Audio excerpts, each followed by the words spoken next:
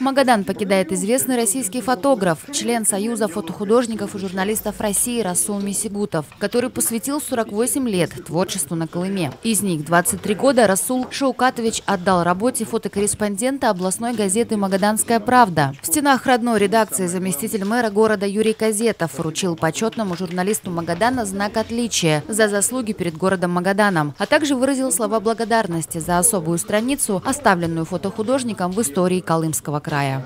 Очень грустно, когда уезжают магаданцы из города нашего. Но вместе с тем, а, я знаю, что все вы остаетесь с нами, постоянно в социальных сетях. Я вот нахожусь, все магаданцы на любое событие в городе откликается, продолжает свое творчество.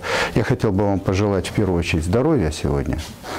Я считаю, что и творческих тоже планов, успехов. Через несколько дней Расул Мисигутов отправится на Запад, чтобы продолжить свое творчество в Калининграде. Замечательно. Еще один кадр будет.